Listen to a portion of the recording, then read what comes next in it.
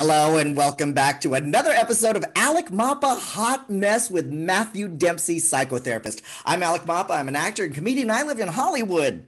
And I'm Matthew Dempsey. I'm a multicultural counselor and psychotherapist. You are. You really are. I mean, I love introducing you because, like, you're the real thing. You're not some shyster who just walked in off the street. You're like super smart. And I love doing the show with you because you always kind of give me an aha moment. Oh my God. Like yeah. high, high, high praise. Thank I've, you. I've had lots of aha moments with yes. Matthew Dempsey, psychotherapist on the show. So today we're going to talk about breaking the cycle. We have an amazing yes. guest. We have Joely Fisher, yes, superstar. Do. Who I've known forever, and she's going to be on the show. Um, and uh, breaking the cycle. This is this is the cycle I want to break um, when I was 14, my parents lost all their money and I went to live in San Francisco because they moved to the East Bay. Mm-hmm. And I was basically on my own since I was 14 and I lived like an animal. Like I was.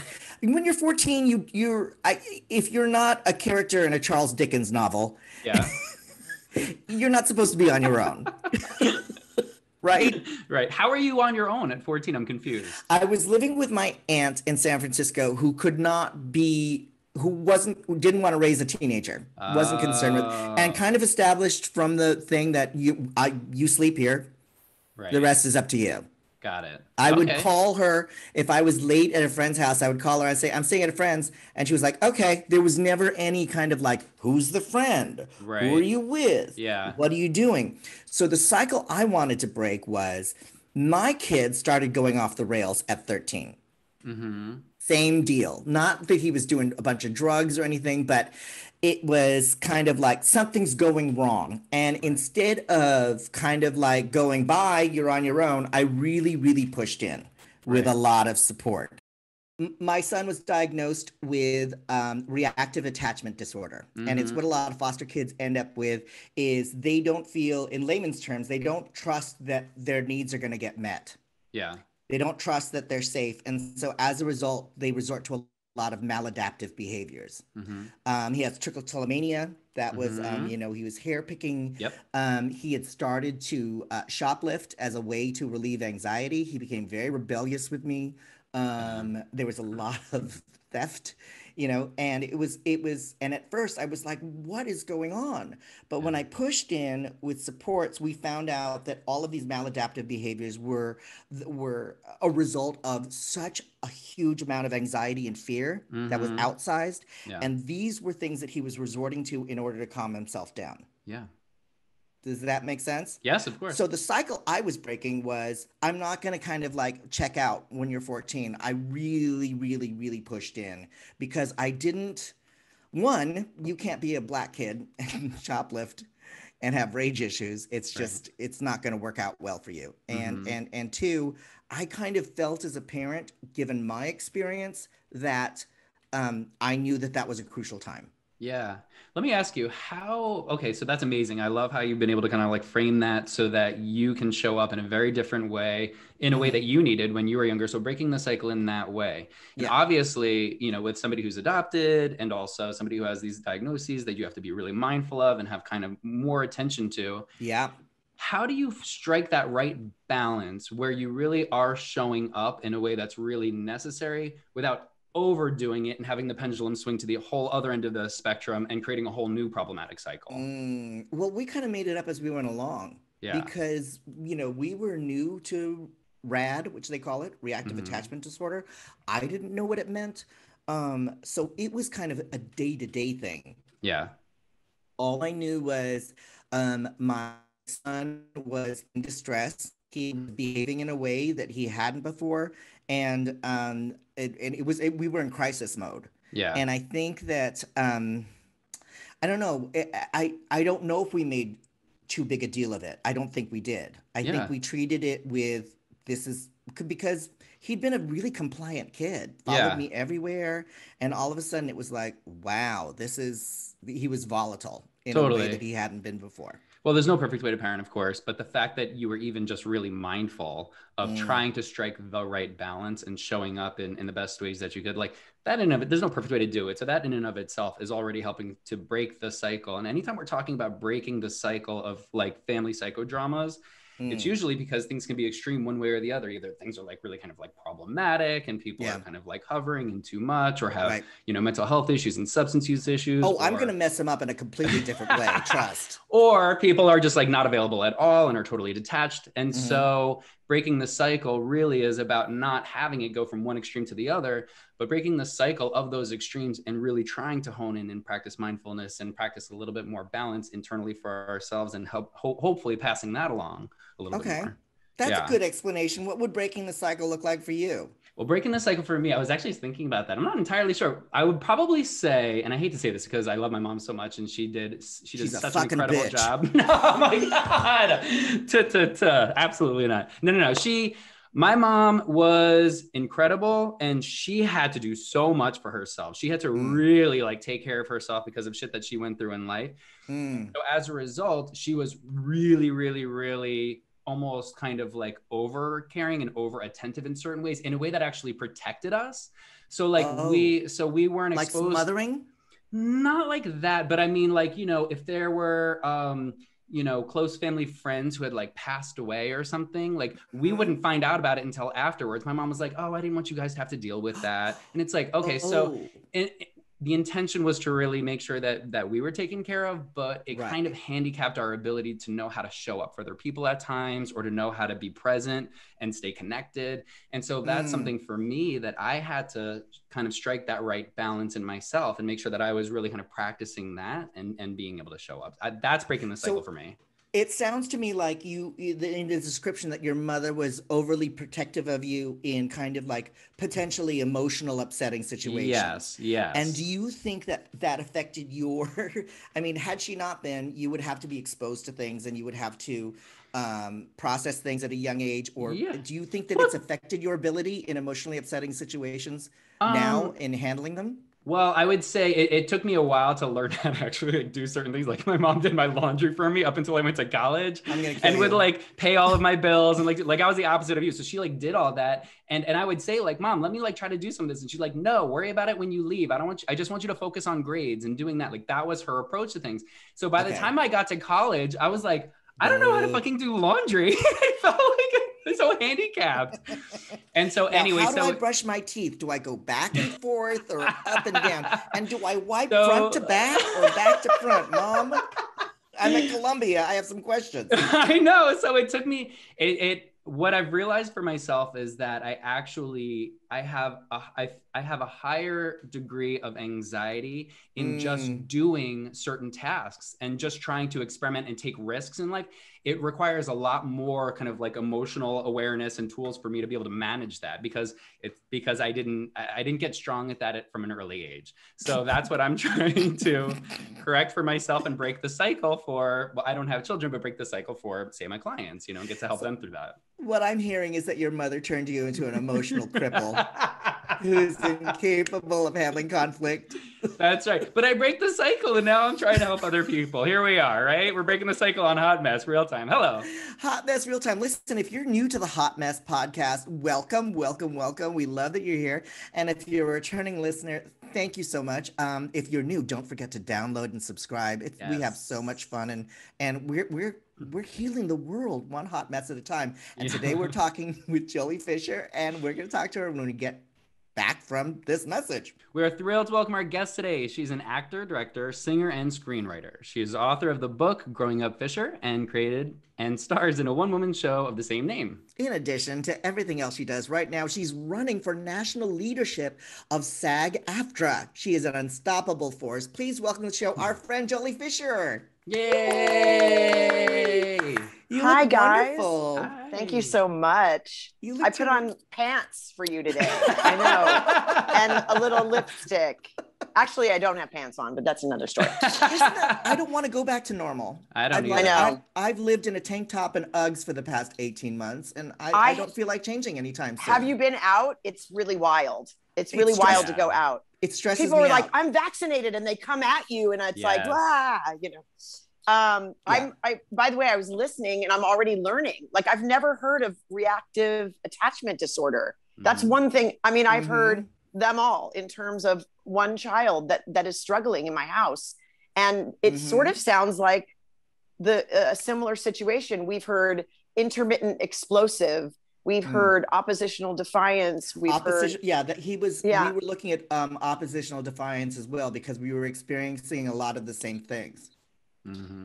yeah it's a it's a scary thing because she, the child that i'm speaking of is my youngest of five and so mm. i had mm. never I, I felt like i had this amazing tool chest in terms of parenting and mm. i mean i was raised by wolves so mm. I I was trying to I mean not really you know that but um literally well, kind of. she's like it's like a jungle book. no, it really really really I mean like Hollywood uh, royalty style wolves. Mm. Yeah. Um um for the for people that are listening who may not know, my father was Eddie Fisher, um who had uh, you know uh, emotional challenges. He was um, an an addict of the of the like utmost kind. He was mm. a drug addict, a, a, woman addict. He was a gambler. He was, um, you know, just notoriously married and unmarried, and just an amazing singer and talent. But he just he sounds like a lot of fun, honestly. He, you know what? He, he must, was a lot he, of fun. Yeah, he was a lot of fun. Those kind Of addicts are super charming. Yeah. Yeah. Um, I mean, I didn't get much of him as a child, so I don't think like my black belt in rock bottom comes from Connie Stevens, my mother. So mm. I had this sort of mixed bag, amazing um, experiences trying to figure out who I was going to be as a woman. And then so now I guess what we're talking about is breaking the cycle for myself mm-hmm. and now for five other human beings that I was right. so um, uh, you know, I, I, the role of mother was like always, always on my mind, even with you know coming out of the womb, singing and and being spilled onto a stage, literally martini mm-hmm. in one hand, mic in the other. But I, um, but I'm listening to you, and I and I'm and I feel like I I'm already having a shift in in kind of what I want to talk about. I don't know. I, mm. Yeah. Well, and, you know, my issue with was I was enraged at the beginning. And that was my, because that's the way I was raised.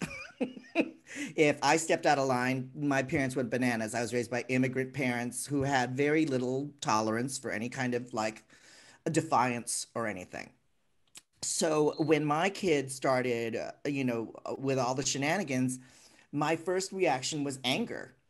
And then when we really pushed in and one of the therapists said to us is I, I like to look at the behavior, but more importantly, I want to look at the why. I want to mm-hmm. look at mm-hmm. why. Mm-hmm. And um, my son was, um, he experienced abuse in the foster care system mm. when before he was came to live with us when he was five. And and like I said to Matthew, when he came to live with us, he pushed everything down. And then when he went through puberty, it's kind of like Pandora's box opened. Mm-hmm. And so as a result, um, what the therapist said, if we're looking at the why instead of actually what he's doing, he's do he, he's not waking up this morning and going, how am I going to fuck up the world? How am I going right. to make my parents as miserable as possible? He was doing all of that because the anxiety was deafening. Mm-hmm. And these were the only things. And also, he was triggered. So, whenever I told him no, because you're talking about oppositional defiance, he wasn't hearing no for now. He was hearing no forever. It was a right. Doomsday event. And so, what we had to do was really push in and get him treatment to one, anger management, finding out your triggers, and just starting to process the PTSD, mm-hmm. just starting right. to talk about it. How old was he? How old was we, he when he came to you? He was five. Oh, so that's quite a bit of an imprint he had already gotten, right? Yeah. How old was your kid? I adopted her at birth. Oh wow. Yeah. Yeah. So I think kids can still get rad. Kid, kids can still have rad even if they're adopted at birth. Well, I just I always think about the pain that is, you know, some of the things that happen in utero is, mm. you know, I had two um bio I have two biological daughters and my whole pregnancy I spent calling them by their name and saying how much I love them and playing them music and dancing and being and touching and saying, mm. I can't wait to meet you. Mm. And this daughter never got any of that. She mm had, uh, you know, someone, a young teenage girl who was like, I mean, thank God she was brave enough to not, I guess, terminate the pregnancy and, and, and, and to relinquish her child to another family, which I told her she was so young. And I said, I feel like you're so brave mm-hmm. and I, I promised to care for this child. So I feel like um, some of that has to have been absorbed in mm-hmm. the belly. Of course. You know? Mm-hmm. Um, um, is there any um, Matthew in in that in utero? What is what have you found in your studies? Like how much are children affected in the womb by psychologically? Um, I don't know how to necessarily quantify that, but um, mm but for sure, I mean, there's all kinds of things chemically. I mean, nine months you're inside of another human being, and so all the chemicals that are going on, um, in terms of just the way that you're interacting, also for sure is going to be impacting that child.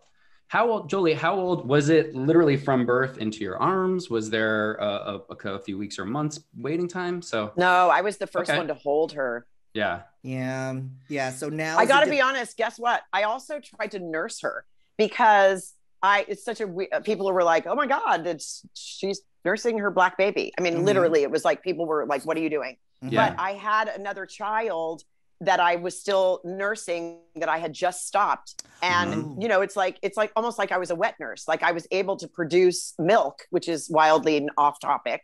But mm-hmm. um but we tried, you know, it wasn't very much, but um but you know, to get that bonding experience yeah, at least a sure. little bit, you know. Yeah, yeah. Absolutely.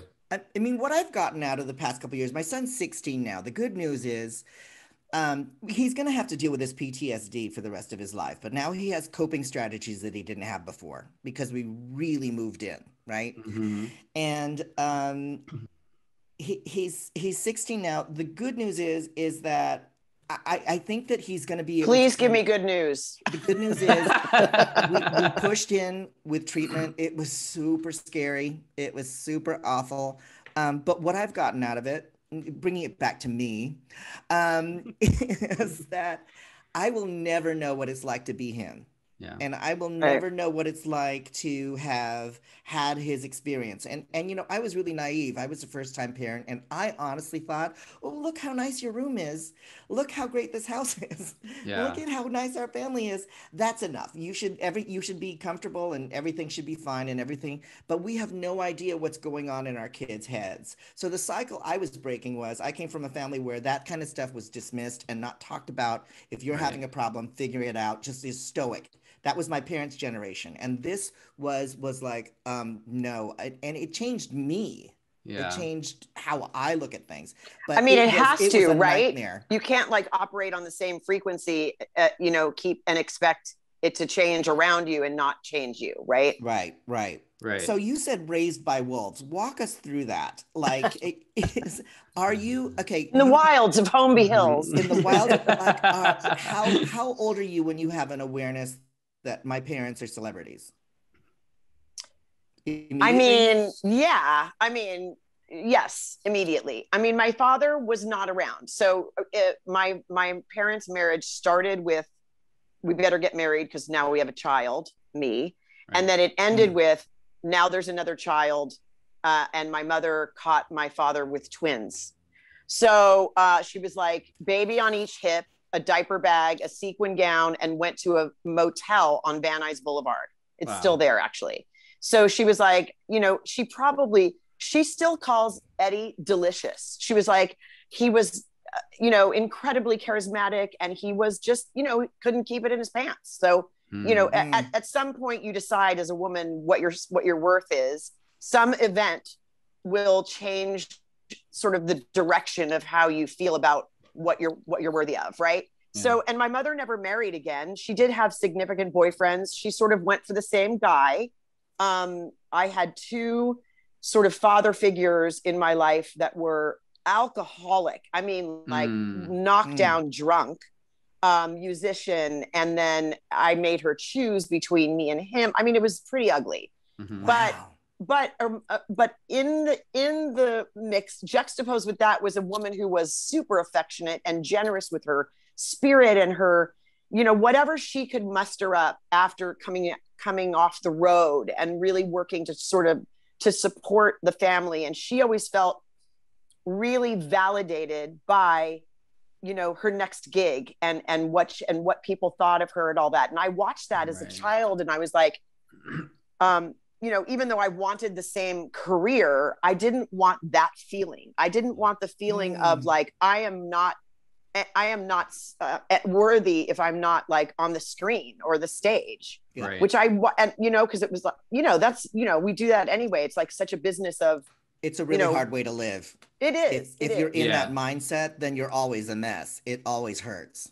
She yeah. she's still still 80, almost three years old, and she's like, when am I going to get that Netflix show? I'm like, mom, right. simmer down. um, which she might have any minute but yeah. but anyway you know um and she's beautiful and she's crazy and you know and you know yeah. um she's gorgeous you know it's so fun it sounds to me like you grew up and the spillover of your mom's life affected you Im- impacted you and it's so funny how you said i remember going to a benefit at your mom's house years and years ago and because we met through steve tyler yeah and i remember that the way your interaction was like just even briefly seeing you and your mom, I was like, Joely's the adult. Oh yeah, oh yeah. I've been the mom since oh, yeah. You're the, you were your, you're your mom's mom. And I have a younger sister who's 14 months younger than me, so I raised her also, and me. Oh, wow. I, we, I raised the two of us. Yeah. So, um, you know, my mom's like, "That's not true." I was, you know, and I'm like, "Okay, you you were like, you're grounded, and I'm going on the road for six weeks." I'm like,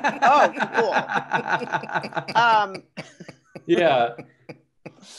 um, but and but by the way, like I I kind of turned out okay. Like I did a really yeah. good job with me. Yeah, yeah. Um, you know, I've had my my ups and downs and and um and dealing with, you know, womanhood and now like how we're breaking the cycle in terms of being a mom and still having a career. I think always working um throughout like a lot of their young lives made me a better mother. It, mm-hmm. you know, it really did. Like they got to see me in my element, but I also didn't need to be on the set and say, "This is who I am," and mm. and look at this, girls. You know, watch watch me. You know, right. um, um, that's a big cycle to break. That sounds like a really big cycle to break. That you your your view of work and your mother's view of work are radically different. I mean, don't get me wrong. Like. I always want to be working and I oh, always am staying creative and all of that. But, it, but it,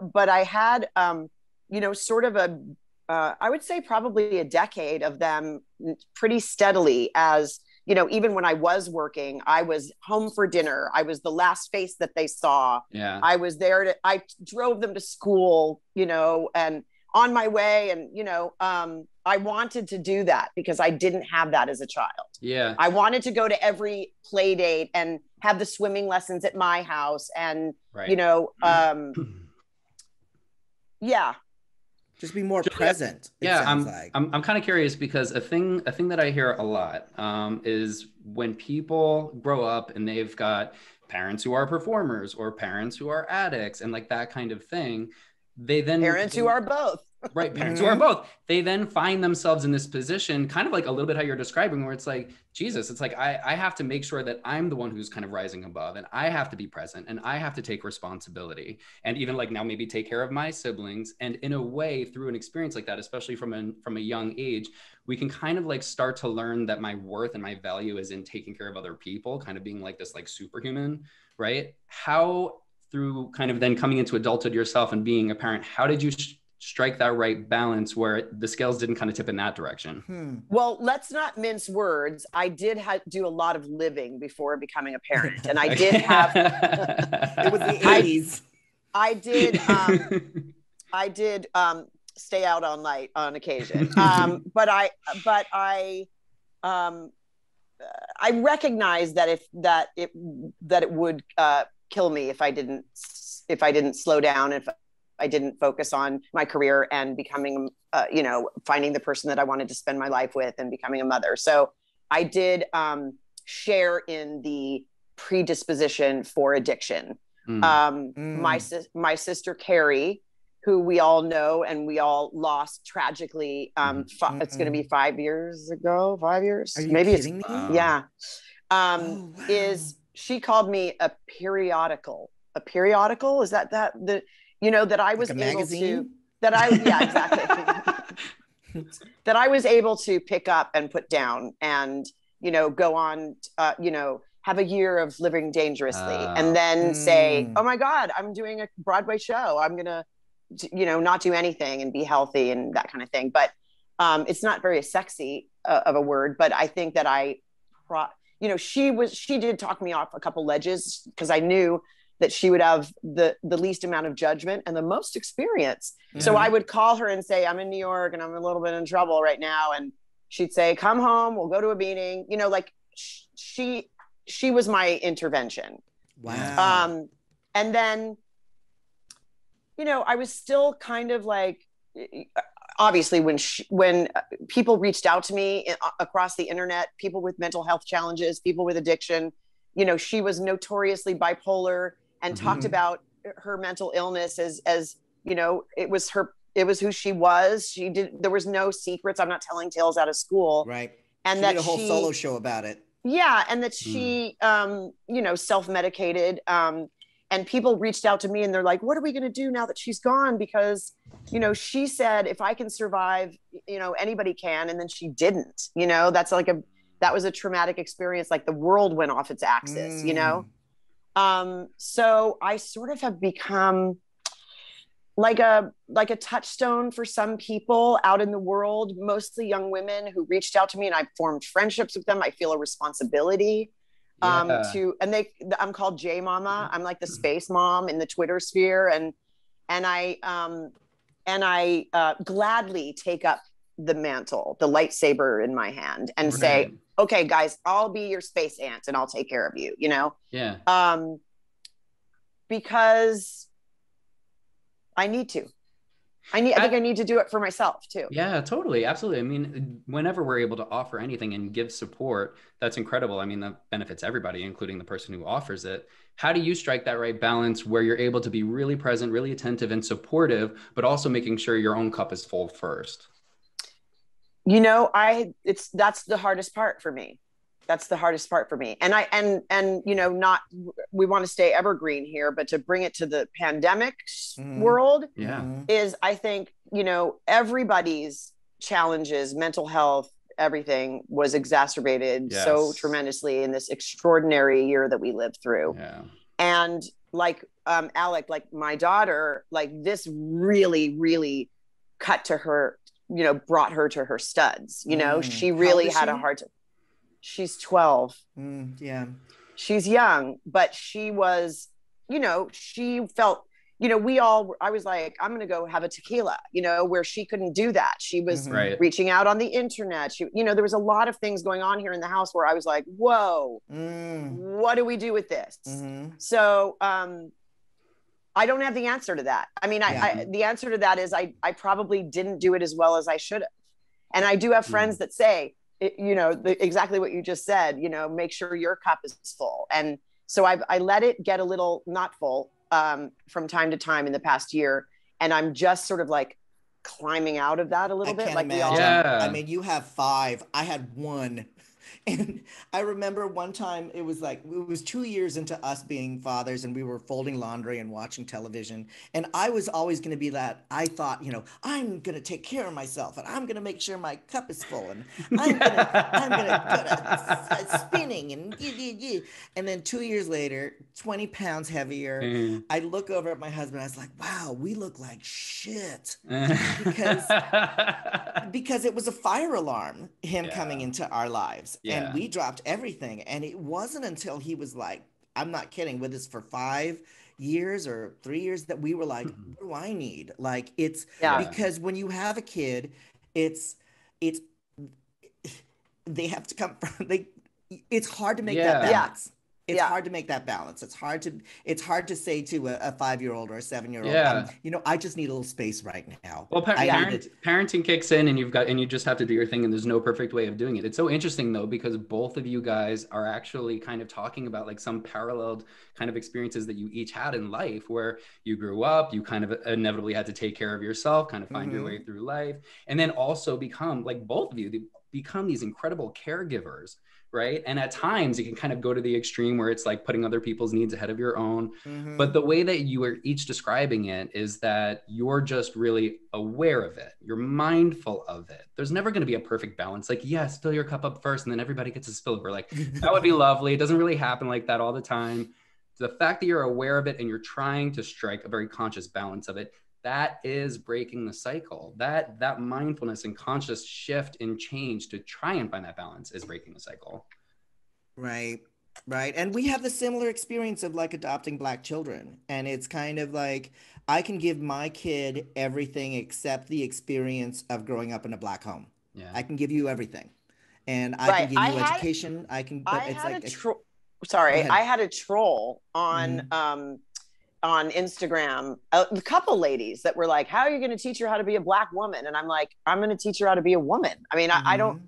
but I understand where they're coming from in terms of, you know, we didn't really think that part of it all the way through. We mm-hmm. thought we are we are so open in this family we've never it would it wasn't even a question what color her skin was we yeah, were like when yes. you send them out into the world it's going to be a different story yeah. yes exactly yeah. and then this year happened where we were um, we were so vocal and so politically charged and you know not mm-hmm. this year four years mm-hmm. frankly but so we were we had the news on all the time and we were mm. yelling and we were talking about it and we were you know it was just very uh, it was very charged in my house and i and i somebody said on the news your children are listening your children are listening mm. so they would come in and out of the room and they'd hear us and and you know and they're all different they have their own personalities like my other two daughters my other sons are are uh, are adults and don't live here and have their own families and they're in texas mm. and they're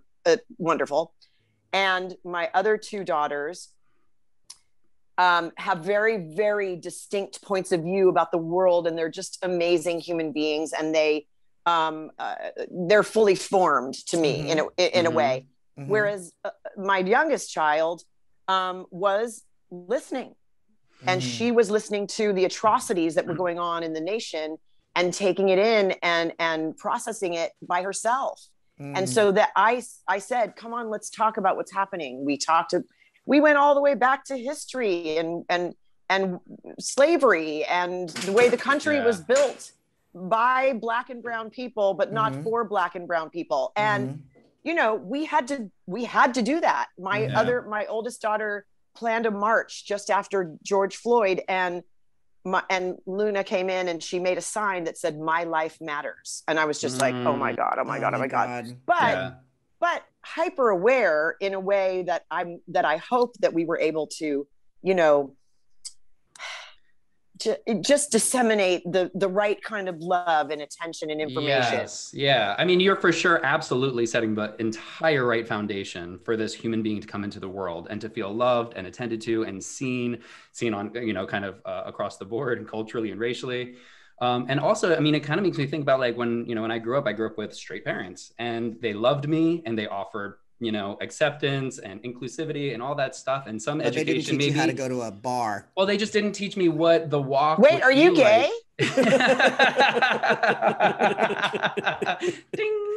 and so it's like yeah and they didn't you know they didn't teach me exactly what the experience of, and the walk would be like going through the world as a gay person with that mm-hmm. particular marginalization. I inevitably had to kind of like outsource. I had like mentors and kind of like gay daddies you know growing right. up you know and alec i know you've talked about how for your son you have what is it we black? have this thing called blacktivities blacktivities right blacktivities where um, our he has he's surrounded by black mentors and it, certainly we, we weren't able to do this during the pandemic but he'll spend the day with a black uncle or auntie you know close friends of ours so that one they can uh, you know it's they can have the experience of not being the only black person in the room because mm-hmm. that's stressful it's stressful when you're the only gay person in the room you're the only woman in the room and they can discuss things in a way that it's coming from a person who has that shared experience of being black mm-hmm. because coming from me it's like well what do you know and then my black friends can go yeah no he's right you have to be careful with the police mm-hmm. you, you can't comport yourself you don't have the privileges of acting out in ways other people do mm-hmm. mm-hmm. you know and it's it's what they give him is is is a lived experience of it you know, and, and I've seen, I've seen, um, you know, my son is 16. He looks older than he is. He's bigger than me. And I've seen the perception of him go from the cute kid who was being raised by two gay guys because he was adorable to a, a, black man and seeing how other people perceive him and look at him. And it's different. Yeah. And with, with um, black females, you know oftentimes their identity especially at, you know going through teen pu- puberty and teenage years their identity may be wrapped up in their hair mm-hmm. you know which is mm-hmm. when my, when my daughter was super little she said i want yellow flat hair because mm. my my biological daughters look just like me yeah. and have blonde hair. It's like the Whoopi and, Goldberg sketch where she puts the shirt in her yes, head. Yes, with the white shirt. Yeah, yeah. Cascadating. um, but you know that was a thing where one of my actress black actress girlfriends was like girl come here. We got to fix this. We got to yeah, you know. You have to go to black um, hair because we were like oh look it's so cute when it's in dreads. No Mm-mm. you can't do that to the child. You have to let the child decide if she wants to have dreads when she's old enough to decide. Right. so we you know we spend lots of money and lots of time and and yes. and make it beautiful braids if she wants. And now yes. recently she said recently she said, I want the braids out and I want to try natural. And I was like, all right, uh, you know, you do you. So she yeah. is searching for that. She's searching for that. Well, she's searching for that, but also the fact that both of you, again, what you're describing, it's like you don't have to have all the answers. You don't have to, you know, be like a you know super parent because you, you there's no way you could be and so breaking the breaking that cycle to show your own children that they don't have to have all the answers that they can you know kind of fumble along the way and figure things out and that's part of being human and okay so oh my god you guys like full circle or breaking the cycle Break goes on the hot mess podcast you know it also sounds to me um uh, you talk about like how different you and your mother are and how she looked. It, it's almost like you having a black daughter almost parallel. I'm not. It's it's it's, it's a parallel experience. It's not the exact uh, experience, but your mother was. Uh, you said that she was, you know, she's a movie star and she was professionally skinny. And growing up, I want, like, okay, I don't even know. I didn't really plan this, but like, yeah. this is when I was a teenage girl. Oh, that wow. was my wow. mom. Yeah, you know, and Joely's was, holding up a picture right now, and she's oh yeah, yeah and her mom is stunning. of my mom, mom in, a co- in a fur coat with nothing underneath it. Um, right. Yeah. And that's basically as one does. Know, as one, you know, yeah, it gets out a, under there. If you're a '60s sex kitten, and she, um, you know, everybody, she, she, she's incandescent. I mean, she walks mm. into a mm. room and everybody goes, "Connie's here," Connie and that was my whole entire life. Yeah and um, you know, we hate to interrupt your dinner, but could we? And I was like, they already interrupted our dinner, so why, why are they asking? You know, and then um, you know, I really did look like her as a child, and and Tricia will say, my sister Tricia will say, and I look like Eddie. Um, which you know we kind of switch off and what we look like as adults now and whatever. But as as a child, I was blonde and I had the light eyes, and um, I felt I internalized looking like her, but not mm. feeling like I looked like her by putting weight on. And so I had this like very strange body dysmorphia. Not strange, I guess it's normal for a lot. It's, you know, for a lot of women, but I, you know, I fought it, but I'm not going to be compared to her. I'm going to mm. be different. Yeah. And, and I had to work through a lot of years of therapy myself to understand that you know, I was given the body that I was given and it's curvy and it is what it is. And, um, and now speaking of breaking the cycle, I'm hoping that my three daughters recognize that I have come to terms with my adult body and who mm. she is. And she's, and she's fierce and she pushed out children and I made children in here. You know what I mean? It's like, and I do also understand the power of the pussy and the boobs and the sexy mm-hmm. part and whatever. Like I always got that. I got that from when I was a teenager. I understood that there that there was power in walking to a into a room and I watched it ha- and I was like, "Oh, that works. I'm going to try a little bit of that." Mm. So it's like a yeah, it's That was modeled for you. Are yeah. you are you are you modeling pussy power for your girls? Do you think that's part of who you are? Just like I walking think, into a room because you have your own celebrity. You have your I mean, you've been on television you know, for so long. Luna, long. when I was going out one day, Luna goes, "Mom, mom, I can see your boobs," and I said, "Do you want nice things?" Do you like I don't. I don't know. I, they're they're so used to it there that I think they go the opposite way. I don't think I'm. I I think they're forming their own opinions about about what girl power is and you know that my you know they're they're activists and they're concerned with social injustice and hey. righteousness and um, i'm just i'm proud i mean that that they did get from me you yeah. know we never stopped marching. We never stop um, fighting for uh, marginalized people. And i think that we um, we we love the military. We love you know what i mean? We i got that from my mom. I'm forever uh, you know in support of of well and like you said sometimes spreading myself a little bit thin and forgetting that i need to take care of myself because i'm yeah. trying to mother the planet a little bit. Yes. it's, it's, a lot. It's yeah. a lot. Yeah. Uh-oh. A lot Uh-oh. so breaking the cycle. It sounds like you've like there's there's a lot of it sounds like between you and your mother there's a lot of forgiveness I think that that's oh, yeah. part of breaking the cycle too is is uh, you know looking at my parents. Um, one time, my therapist said to me, "Wow, in, in, in hearing about your parents, you didn't have a chance." yeah. Given the people that they were, they were not prepared for you. So, um, I, I, I, I, being a parent myself, I view my parents with so much compassion and forgiveness at yeah, this point. And I that's think huge. that's part of breaking the cycle. That's huge well. for that's huge for breaking the cycle. It's like that quote that goes, "Resentment is allowing people to live rent free in your head." Um, so mm-hmm. figuring out how to evict them by forgiveness and really practicing that, because otherwise, if you don't forgive, then you're kind of like you know clinging onto these resentments and trying to prove things and all that stuff and then we don't have the ability to practice self-love and to be able to find more of that balance internally that's the thing we want to pass along to, to our children. That's how we break that cycle. I did have this incredible catharsis not to like you know plug or whatever but i got to write my story. I got I, you know i was i wrote plug an it, article plug it.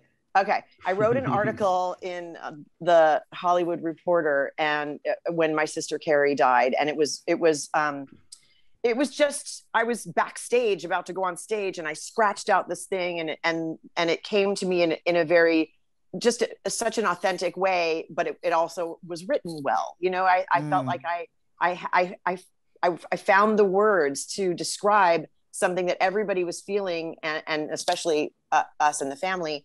And I said, you know, you can't write R I G H T this shit, but you can write it. Mm. And mm. I said, and boy, do I have a book in me. And then I got book offers. So I said, am I ready to do this? Is there a book in me?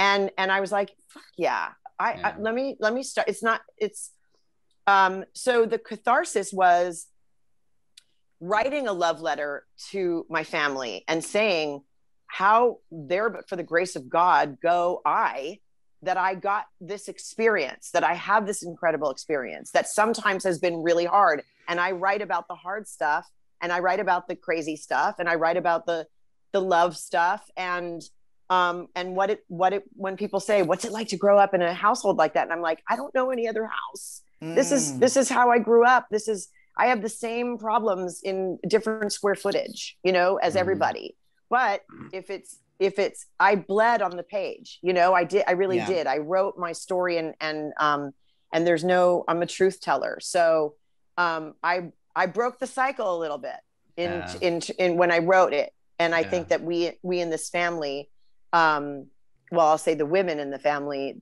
you know, we we use our words to to navigate the tough stuff. Like yeah. Carrie was the smartest brain we ever so knew. Fast, you know? yeah, yeah, yeah. I, I I saw her show live, and then I went to the premiere of her show at because uh, World of Wonder produced it, and they invited me. And I remember us going to the screening, and before she even opened her mouth, she said, "Oh, just get out of the way. My mom's here. Stand up." and I was like, "That is a unique experience and relationship. That's it's it, that's wacky and amazing."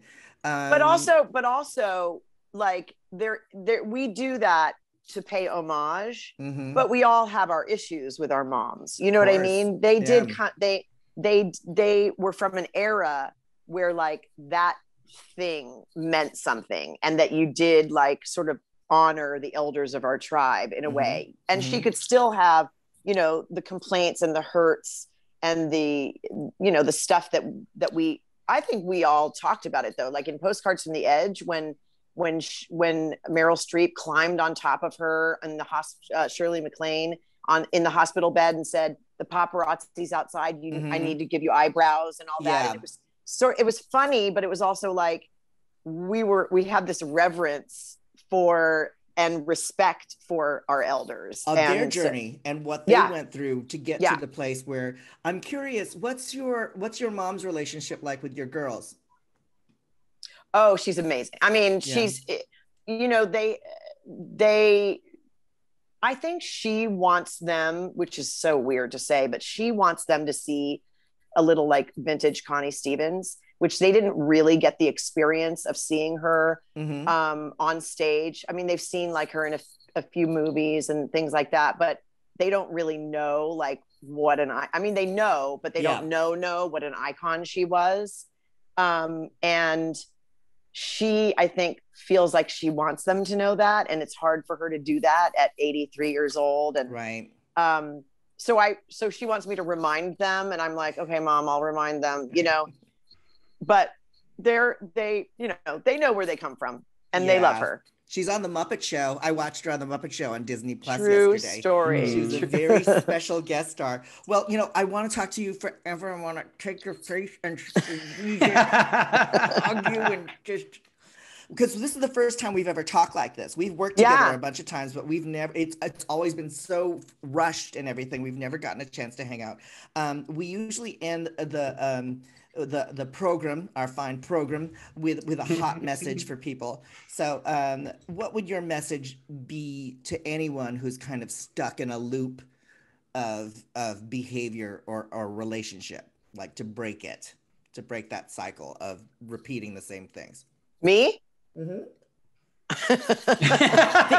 you mean the expert? Yes, the yes. expert, the, the the space ant, the mother of all, the mother of of all things. I mean, I hate to like hammer it out, but mm. I feel like I need to. Writing, write yes. it. Wow. Write it, write yes. it, write it. Yes. You know, like I get up in the middle of the night sometimes and and and go onto my notes on my phone and I go, mm. "Oh my god, I just had a weird dream and I'm going to write this and what did that mean in the morning?" And I have notebooks everywhere. I wrote my book longhand, the whole book. Yeah. Wow. And then said, "Here, can somebody type this? Because I suck at typing."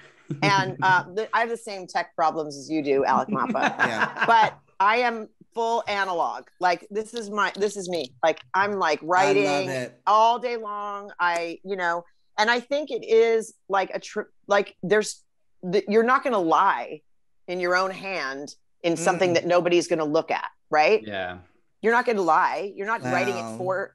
You know what I mean? Like yeah, I, I when I a big proponent of writing. I mean, you talk about how it just rewires your brain. Yeah, it, it really, really, it really of... does. But Joely, specifically, I'm not even sure if you're even as conscious of it. But what you've described is exactly the right way to do it because you're not only writing things down, but you are choosing very consciously the way in which you're framing things. So to put that positive framework on it while still honoring how you felt your emotional experience is, is perfect and I feel like I've been doing it my whole life. Like I have journals that I pulled out when I started to write my story. I pulled mm-hmm. out and I was like, oh my God, I can't believe I wrote that. I can't yeah. believe, wow, that sounds pretty much how I feel right now. Or, oh my God. or, oh, I can't believe that that that girl who was tortured by that boyfriend at 22 years old who felt like that I don't feel like that at all anymore. Wow, yeah. she was, you know, she was a hot mess. Mm-hmm. um, yeah. So I, I think, you know, um, memorialize it. Yeah. You know, chronicle it. Wow. Yeah, I love that. Great advice. I love Hot you, Joely message. Fisher. Where can I love people you so find much. You? Where where where can people find you on the social medias? Oh, at Ms. Joely Fisher, M S J O E L Y F I S H E R on Twitter, Insta, and I don't really do Facebook anymore, but yeah, yeah. I'm pretty mouthy politically on the Twitter, and I like mm-hmm. to show pretty pictures on the Insta. So yeah, same, same, perfect. Same, same, and if you're same. and if you are in SAG AFTRA, the upcoming elections for Matthew Modine and Joely Fisher are in August. So get your ballot and fill out the bubbles that say membership first, Fisher Modine. Modine yeah. Fisher. I'm I'm voting for I'm a part of the Fisher Modine ticket. I'm gonna I'm gonna vote and tell everybody to do the same. Thank you so much for being on the show. Thank I you, really appreciate Such it. Such a great you. way to spend the morning. Thank you, dear. Thank you. Thank you. Matthew, this is like another like another j- great journey we've been on together yeah. in, in 45 minutes. Yeah Yeah, that was amazing. What's your hot message? honestly, I was like so prepared. I'm like, what's my hot message? And then Joely said the writing thing. I was like, dude, I was gonna say that. Um, so I'll just I'm just gonna echo that. Write it down. Write it down. Be conscious. Uh, we're always telling ourselves stories, whether we're conscious of it or not. So when we make the practice of consciously writing them down, then we have the choice of how we want to frame it. And when we can frame it, then you know, with a more positive spin on it, that's how we then can heal and that healing is what we get to pass along instead of any kind of trauma or psychodrama from from previously and that's breaking the cycle. Wow breaking the cycle. And then someday i'm going to be a little old filipino man and my big black son is going to be like wow you really screwed me up. And here's my here's my therapist bill. Yeah. um, my hot message is it's okay not to know everything. It's okay yes. not to have the answers. But um but to all to be curious is i think is is the sweet spot. Yeah. To be curious to kind of wonder about things to sit in awe and wonder of the process and and kind of be at peace with not knowing we're not supposed to know everything. yeah. Yeah. Where can people find you on your socials, big boy? you can find me at MJ Dempsey Psych on Instagram and Twitter and Matthew J. Dempsey Psychotherapy on Facebook. You can find me at Alec Mapa on Facebook, Instagram, and Twitter. Don't forget to download and subscribe. Download yes. and subscribe. Please, please, We're please. getting more people every week, and we're, we're so grateful Love it. that you choose to spend your time in the car, at the gym, wherever you are with us. Tune in next week for more Hot Mess Fun. Goodbye. Bye, guys.